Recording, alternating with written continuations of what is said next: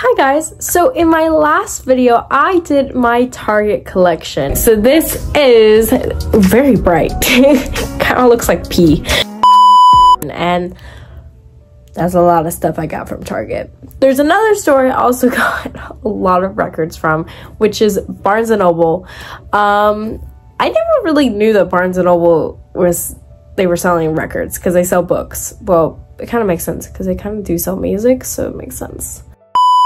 Anyways, so Barnes & Noble is actually my second option to go to for records.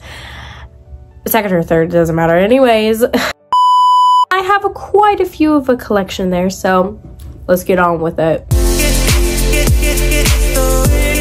The first one is Red the Stolen One. Now, this was really cheap. This was like $25, and I think it still sells at that um, because it's red obviously and it's the stolen one so there's that.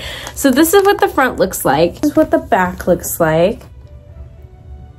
Super duper cool. And then it, it opens up so it's a gatefold and look at that.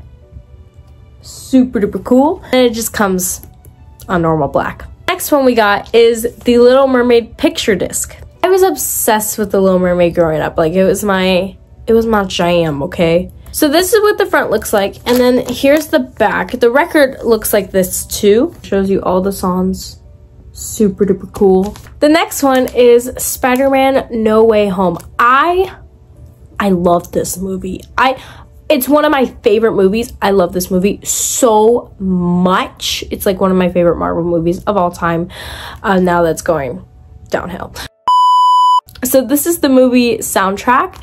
Uh, this comes with two records and here's the back. They just come on its normal basic boring black. I cannot stress this enough. I love this movie. This is something really cool too.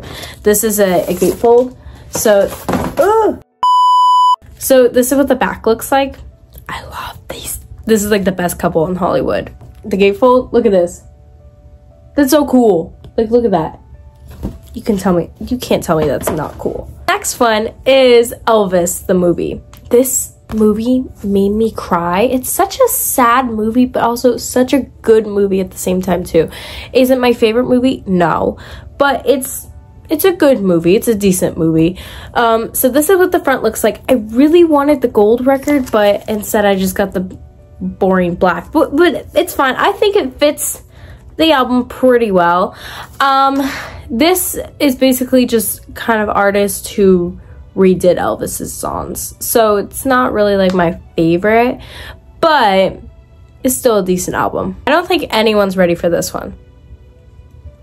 Mariah Carey, Merry Christmas. I am ready for Christmas. I don't know about y'all, but like in April, when it hit April, I was like, it needs to be Christmas. I, I don't know why my brain went there, but my brain did. And I was like, it needs to be Christmas immediately. This was like a limited edition, so this was pretty cheap to buy.